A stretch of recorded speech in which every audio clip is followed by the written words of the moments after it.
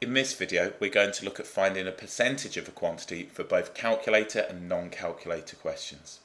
Let's start with non-calculator. So we'll have now non-calculator.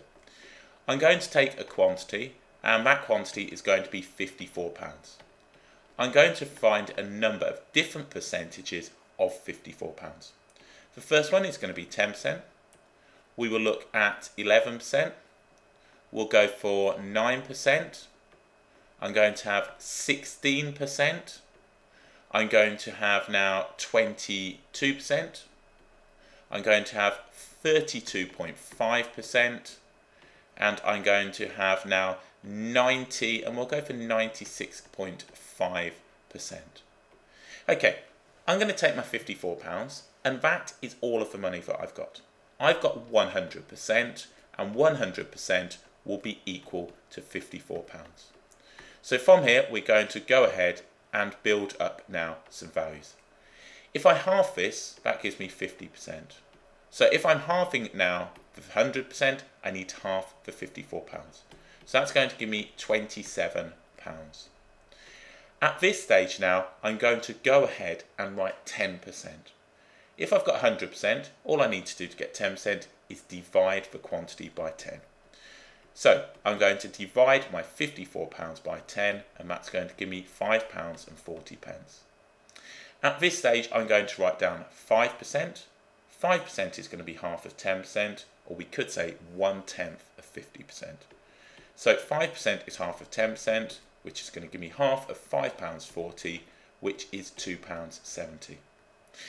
If I think about this now, looking ahead at some of these, I can find 2.5%. 2.5% is going to be half of that. So we can write 2.5% is going to be equal to £1 and 35 pence. 1%, 1% now is going to be 1 tenth of 10% and we can write this now as 0.54 or we can write it as 54p. So 0.54 pounds or 54p. So if we just look at this pattern, 54, 5 pounds 40, 54p. So with this one, £27, £2.70, and if I wanted, I could go down to 27p. So we've already got 10%, we can see 10% here. If I think about 11%, if I want to find 11%, well that's going to be 10%, and then all I'm going to do is add 1%. That's going to give me the 11%.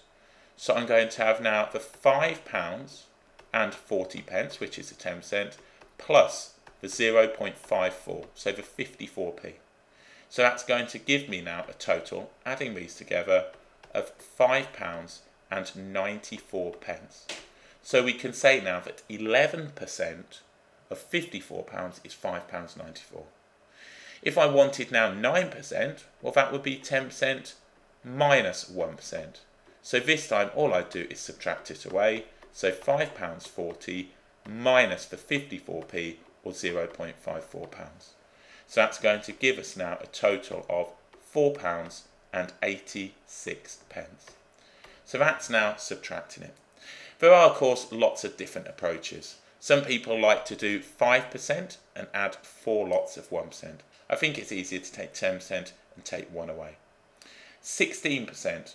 So how could we build up 16%? Well, we could say that's going to be 10% plus 5% plus 1%. Alternatively, you could do 20% and subtract away four lots of 1%. So I know now that the 10% is going to give me £5.40. The 5% is going to give me £2.70. The 1% that we found was going to be 54p. All I need to do is use column addition. That's going to give me 4 We've got 11 and 5, which is 16. We carry the 1, and that's going to give me in total now 8. So we can say now that 16% of £54 is £8.64. If we wanted 22%, I could go ahead and do 20 and two lots of 2, or I could find now half of 50%, which is 25%, and take away three lots of 1%. Okay, let's look at this one right here. We want 32.5%. I'm going to do three lots of 10%, which is going to give me 30%. and then I'm going to do one lot now of 2.5%.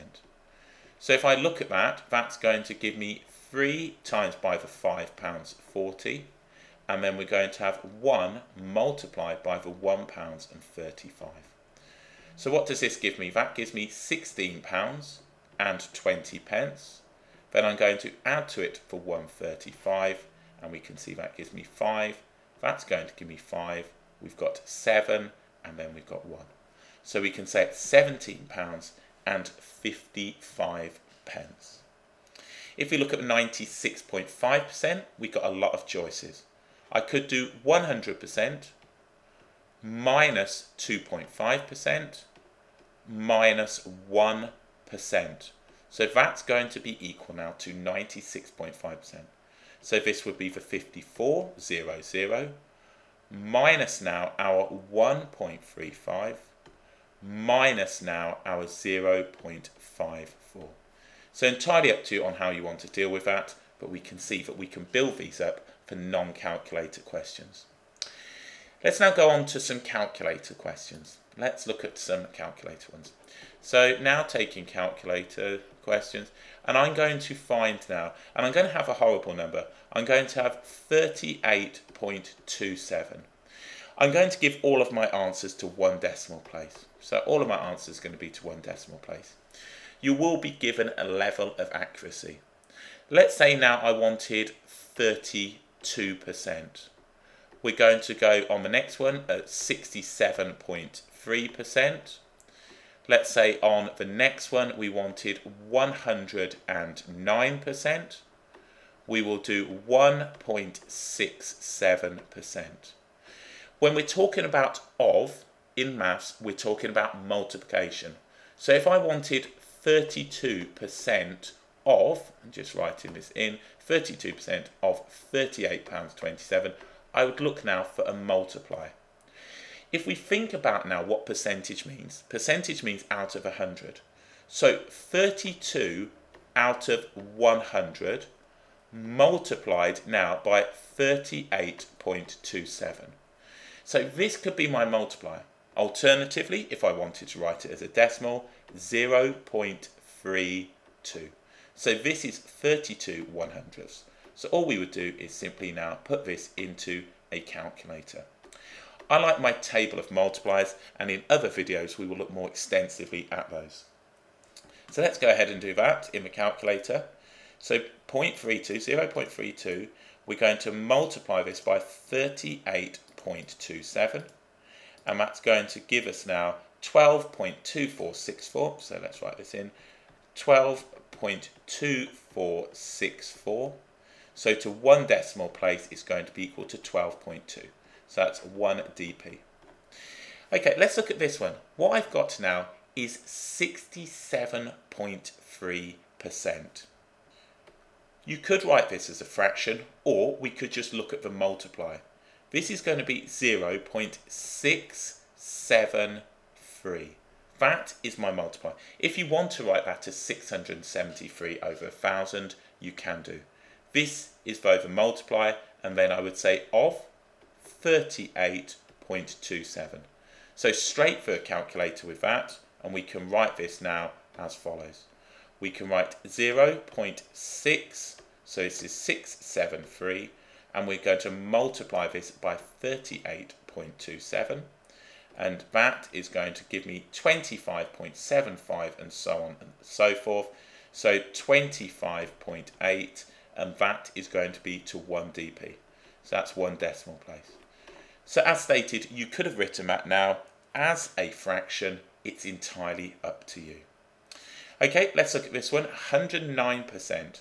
So we could write this as 109 of 100 multiplied by our 38.27 or we could write this as 1.09. 1.09 multiplied by the 38.27 will give us that answer. So let's go ahead and do that. So we've got 1.09 and we're going to multiply that by 38.27 and that's going to give me now 41.7143 so that's going to be 41.7 and that is to 1 dp. Okay, let's look now at the next one. This time we've got 1.67. I'd like to write this as a multiplier and we're going to have now 0 and then we're going to have now point. So it'll be 0 0.0167. That is the multiplier I'm going to use and we'll multiply that now by 38.27. If we just think about this now, let's just build up a couple of multipliers. If I multiply it now uh, by 0.01, this is going to be 1%. If I multiply it by 0.02, this is going to be 2%. If you want to look at this now, that this decimal is equivalent to saying 1 one hundredth, so 1%. This is 2 one hundredths, or 2%. So if I've got now 0.0167, that's going to be 1.67%. So all I do is go ahead and multiply. You can write this as a fraction. Again, it can look quite messy. So in the calculator, let's go ahead and do that. So we've got 0.0167. So if I left it there, that would be 1%. That's now 1.6%. That is 1.67%. And we just multiply this by 38.27. So let's go ahead and do that. And that gives us 0.639. So to one decimal place, 0.6. So let's do a couple more before we go. Let's find uh, 37% um, of, let's go for uh, 63.941. So in the calculator, you can either write 37 over 100 multiplied by the 63.91 uh, 941, or you can write this as 0.37. Entirely up to you. Remember, of in maths means multiply. So, straightforward calculation. Let's go ahead and find 15.2% of, let's say, we had 112.4. This now would be 0.152 multiplied by the 112.4. Again, if you wanted to write it as a fraction, you're more than welcome to do so. I prefer to write it as a decimal. I don't want to write 152 over 1000. It's just a lot easier for me to write it like so. So that is finding now a percentage of a quantity for both non-calculator and calculator.